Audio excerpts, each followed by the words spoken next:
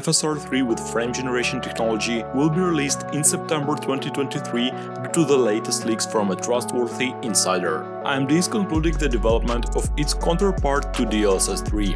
The insider and creator of the YouTube channel Moore's Law is Dead has disclosed that in September 2023 AMD will grant developers access to the FSR3 technology along with the fluid motion frame generation option. The insider has previously shared accurate information about both AMD and Nvidia products. According to the insider's information, AMD is already preparing for the technology's release. The company aims to synchronize its launch with the release of their upcoming graphics cards, among which the Radeon RX 7800 XT is expected to be included. AMD unveiled FSR 3 during a presentation in November 2022. At that time, the company stated that the technology should provide up to two-fold performance increase at 4K resolution compared to FSR 2. After the presentation, AMD announced announced their intention for the upscaler to function even on previous generation graphics cards. Nevertheless, the company did not disclose a list of graphics accelerators of which FSR3 will operate. At the same time, AMD representatives clarified that FSR3 is not a hastily crafted response to DLSS 3, but rather a feature that engineers have been working for an extended period. NVIDIA's DLSS frame generation technology enhances performance by generating additional frames using artificial intelligence.